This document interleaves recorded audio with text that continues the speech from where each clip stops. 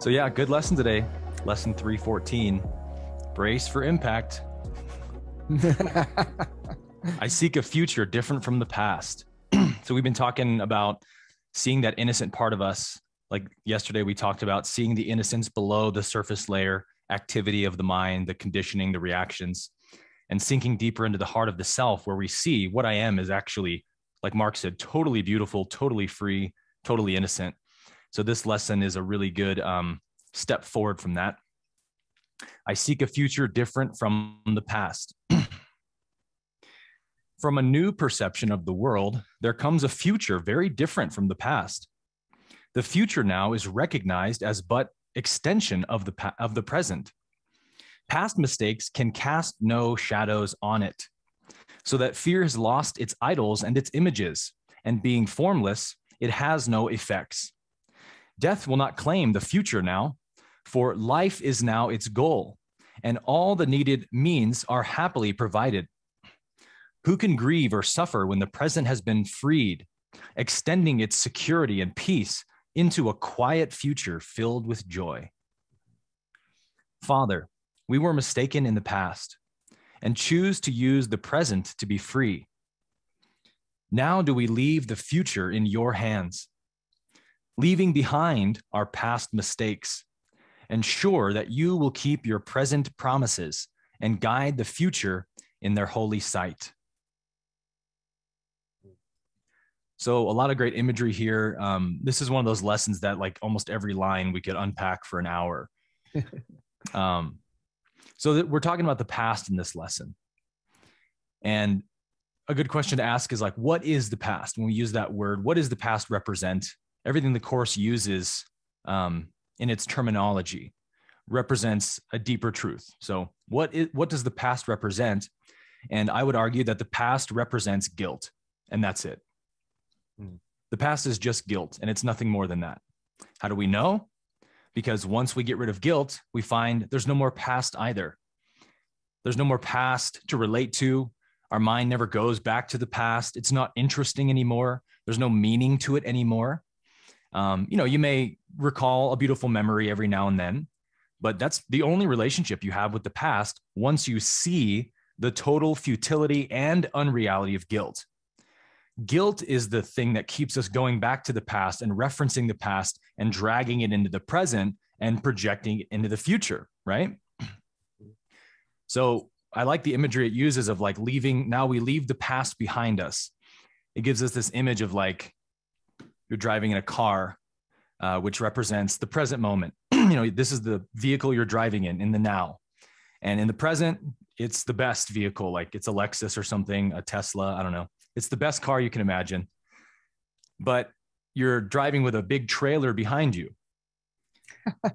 and that trailer has all the junk from your past, all your guilt, all your mistakes, all your regrets, all your grievances, just loaded up in that trailer. And it's you know, ricketing up and down the road and stuff's falling out everywhere and other cars are swerving to avoid your mess.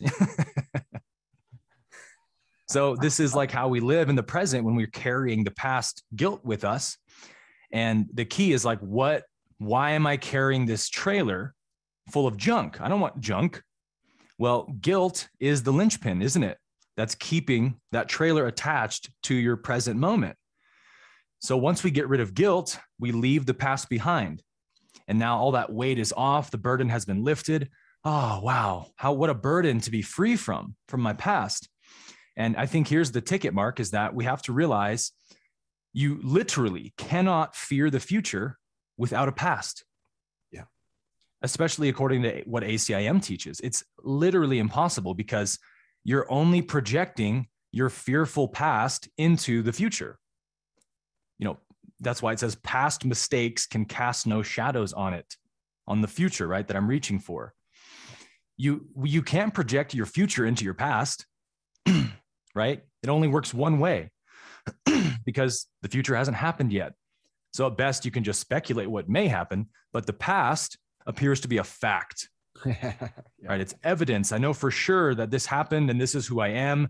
This defines me and yada yada so we we carry all these burdens of guilt from our past and then that creates a fearful future doesn't it mm-hmm. bad things may happen again to me Life may be cruel again to me. Someone may betray me again. I may lose something I need or love again. Life may let me down again. That's what we project into the future. And it's all coming from past evidence that the mind's collected. And so we find again that once guilt is over, you just never revisit the past. All past mistakes just become lessons in the present. Yeah. They become lessons that you learn from the past and you bring the past into the now and let it transform you. So to seek a future different from the past means to seek a future without guilt. Total freedom. So the question is, how do we get rid of guilt? This is what the course aims for, right? And the course says a, a number of things about how to get rid of guilt. It's not even how to get rid of it, right? Because it doesn't actually exist. It's really about how do I see guilt for what it really is? And then the illusion will have no more effect on me, mm-hmm. like the snake and the rope. It's like, how do I get rid of the snake? Well, you don't really get rid of the snake, right? You, you see it's just a rope and then it loses its effect, as the lesson says. So for me, Mark, personally, in my experience, the way that guilt ended for me was through two things. One, seeing its purposelessness, like it serves me absolutely no value whatsoever. It only keeps me anchored to the past and creates more suffering. But number two, and the bigger one for me, was seeing that guilt is arrogance. Seeing that it's just absolute pride to be in guilt. Because when we see arrogance, I think it has a really profound effect on our consciousness and you know we've all had this experience where you sort of um, you get really embarrassed because you see that you were really like full of ego in that moment and you didn't realize it and everyone else could see it and you're like oh man it was so embarrassing like it makes you never want to do that again because seeing your own pride is a very kind of painful experience but that pain really is crystallized into something beautiful because it births in you humility you, you no longer want to be arrogant, which means your awareness is open to your arrogance. And so you enter every situation with more humility. You're not as quick to throw out your opinions and biases about everything.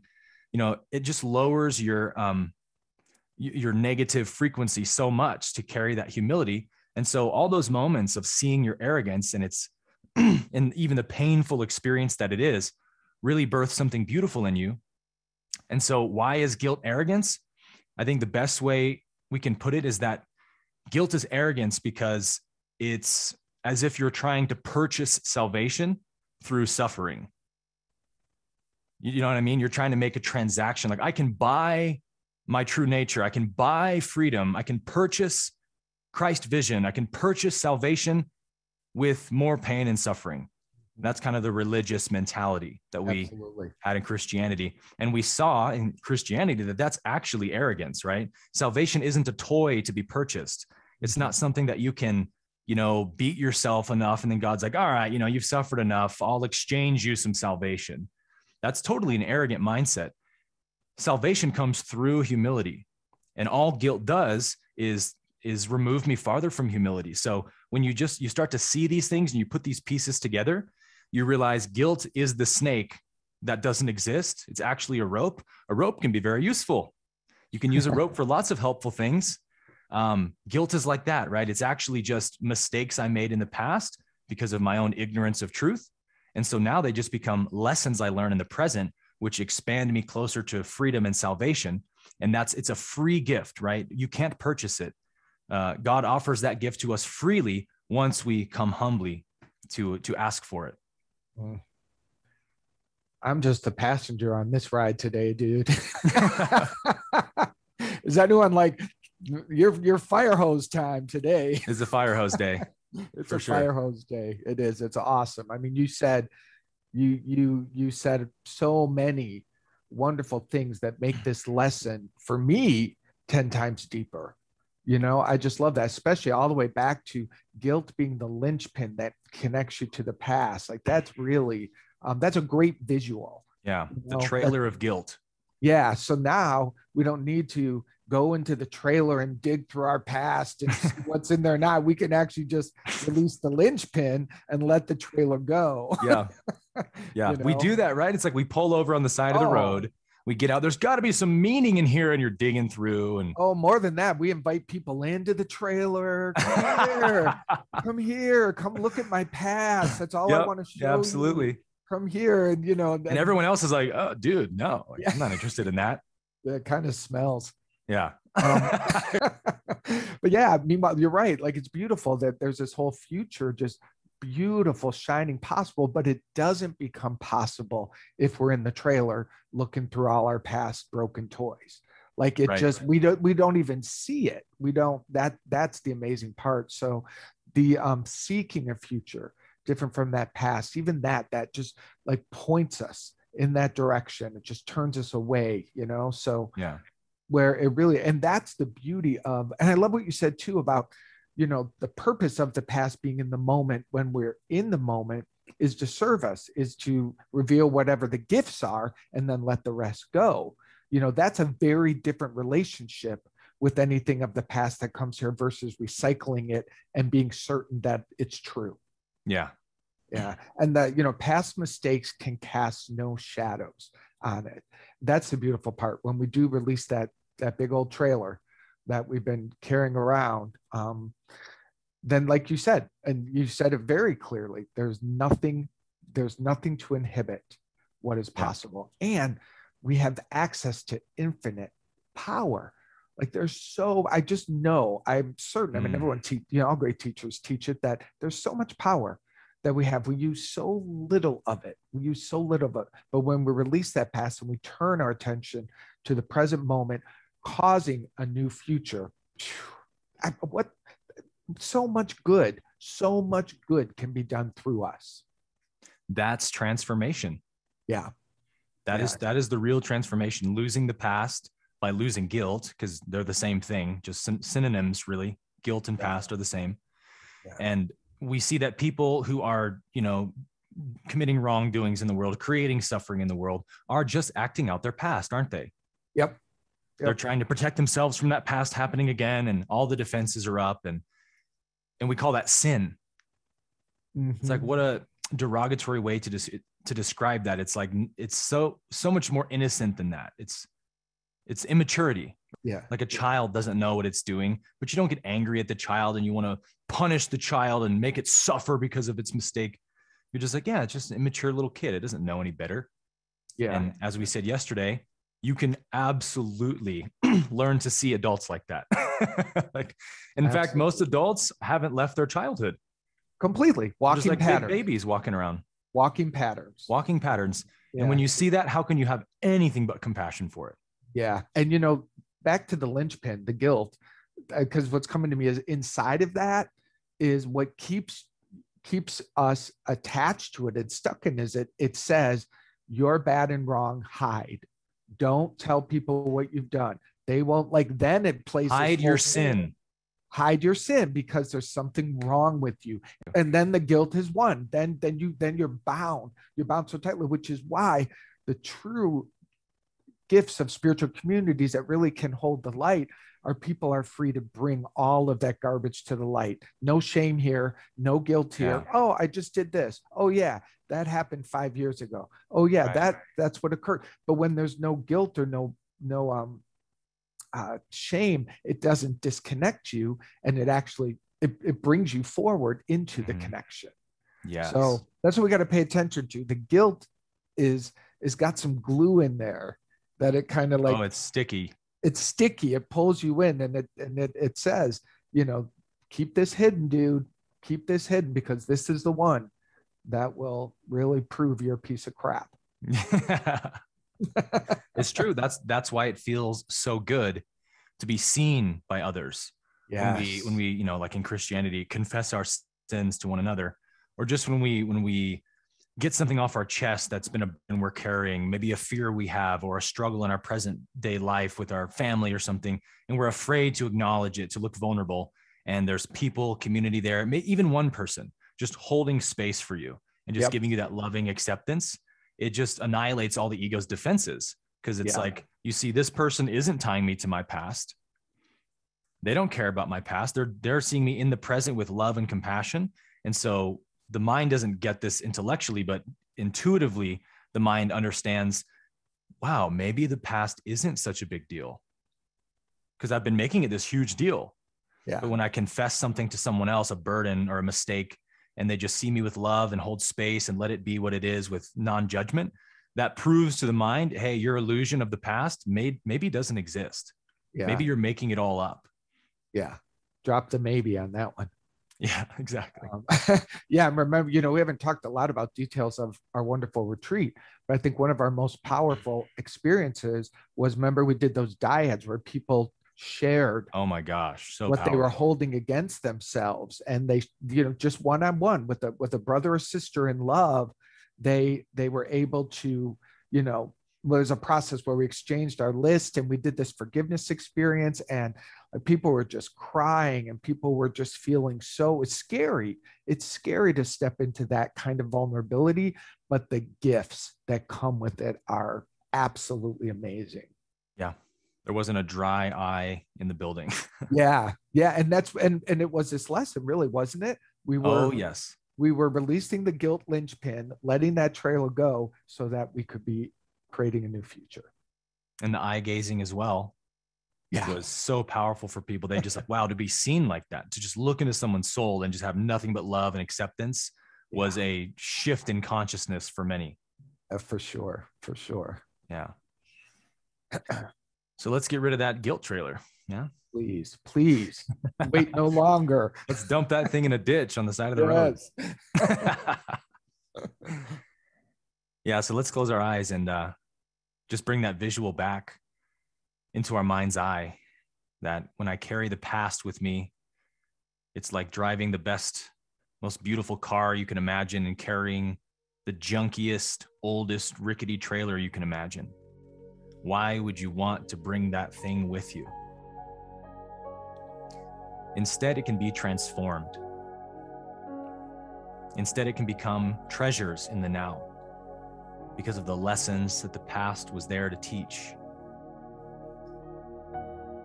And so we return again to this recognition that guilt is the linchpin that keeps us tied and bound to our past. And so to let the past go, we have to get rid of that linchpin of guilt. And to do that, we have to see that guilt serves no purpose to wallow, to drag our feet in the mud, to feel shame, to feel guilt, remorse, and regret. It doesn't lead us closer to anything we want. And it only leads us closer to everything that we do not want.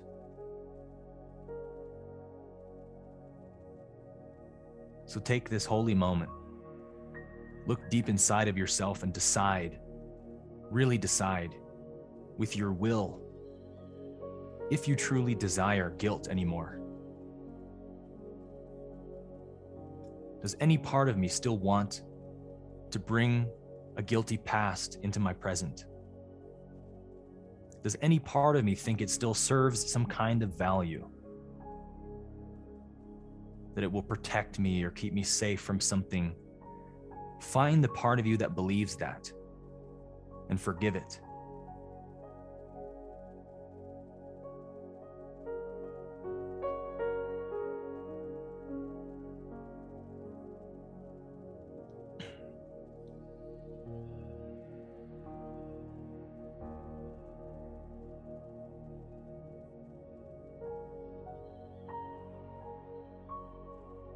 It isn't your fault that you believed guilt was helpful. You didn't know any better.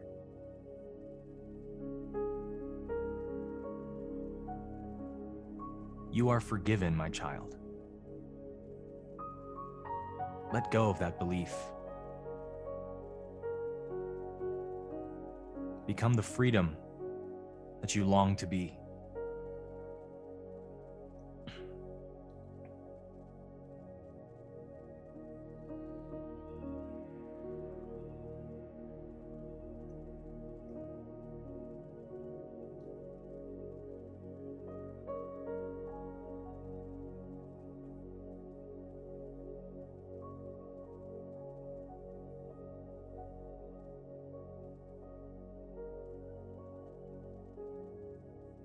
Now I want you to look inside of yourself yet again.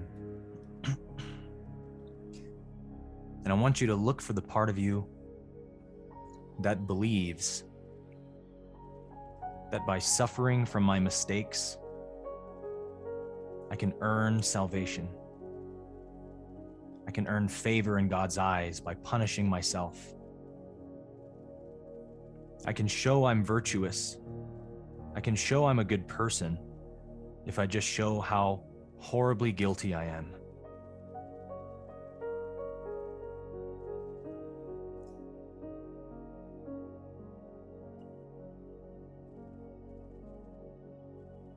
This is also an innocent mistake.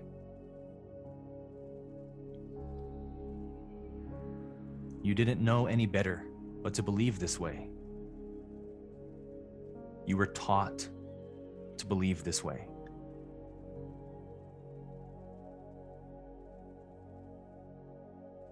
But see now the pride and the arrogance of this belief that salvation is a trinket on the shelf to be purchased, to be bought with a price tag, or that something good and beautiful and pure can be bought with something painful and sickening.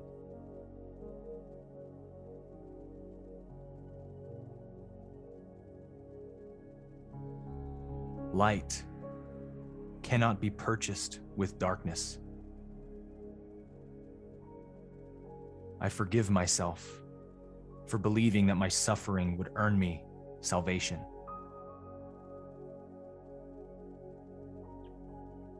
I accept, as the Course says, that salvation requires no sacrifice. It is a free gift my Father gives me because I am His.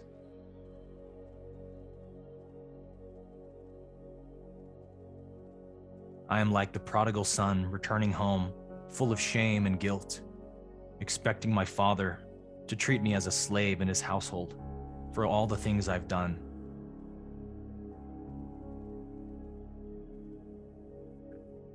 And yet he throws his sandals and his robe off and sprints down the road as soon as he sees me coming towards him. And he embraces me with love and says, My child, I have nothing to forgive you for. I've always loved you and always seen you as pure and innocent.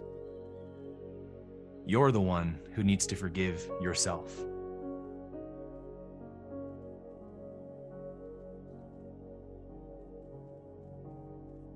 So forgive that part of you that believes salvation could be bought with pain.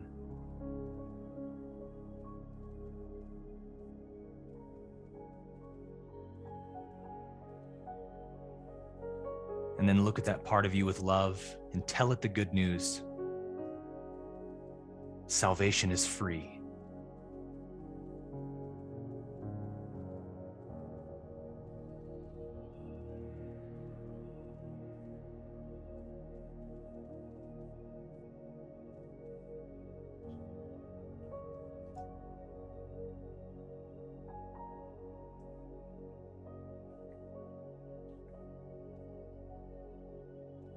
And if you felt a shift in your awareness from fear to love, if you felt any kind of miracle take place in your mind, take your hand and place it over your heart and give gratitude for this healing, for this miracle.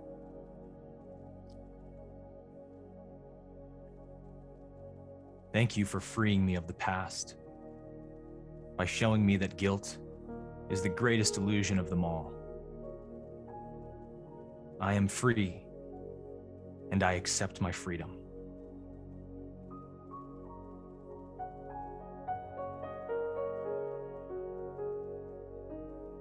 And if you feel that in your heart this morning,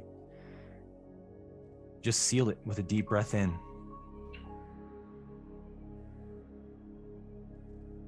And on the exhale, in that gratitude, bringing your awareness back to the room, taking your time when you're ready, you can open your eyes.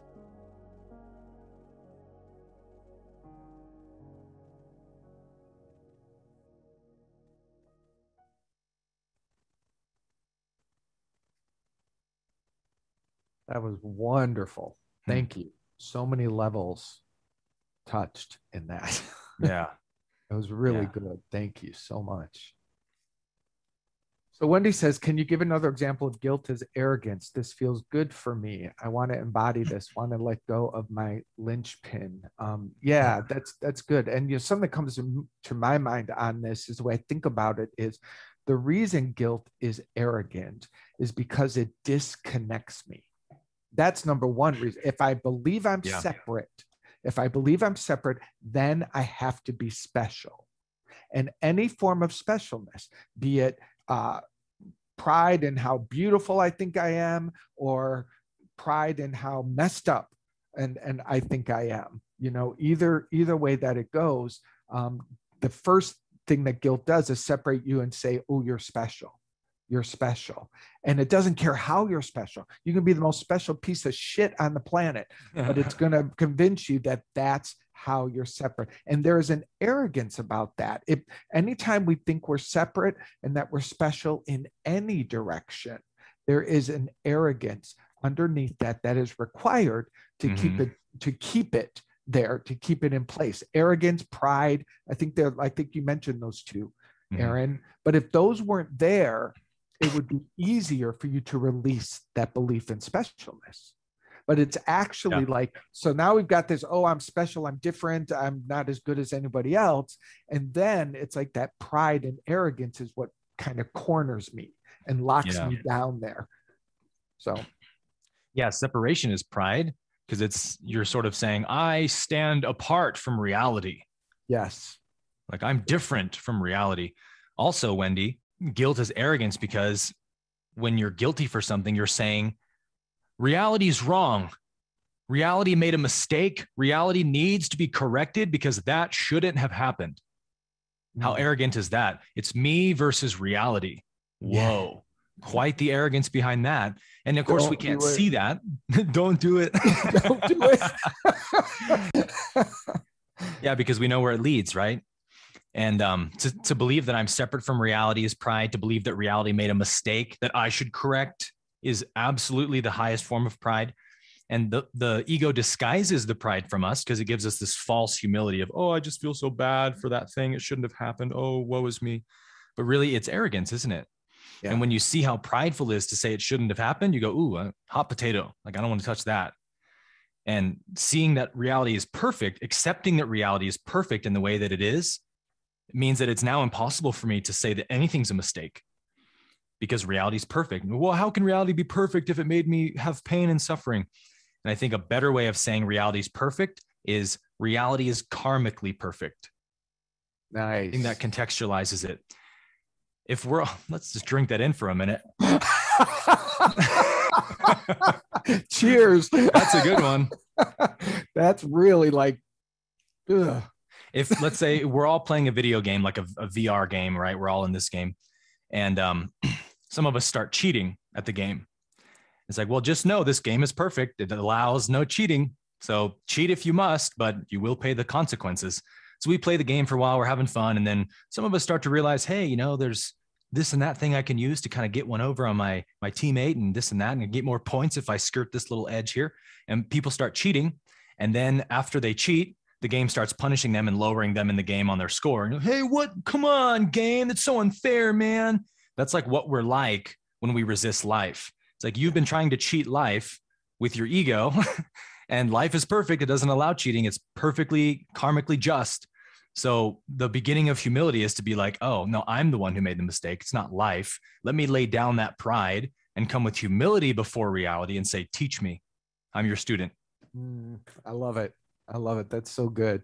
So before we go into the midnight hour, let's do one more. We're gonna have two master classes today. Seriously, how does this relate to longing for the beautiful memories of the past and longing for them? For example, missing my children being small.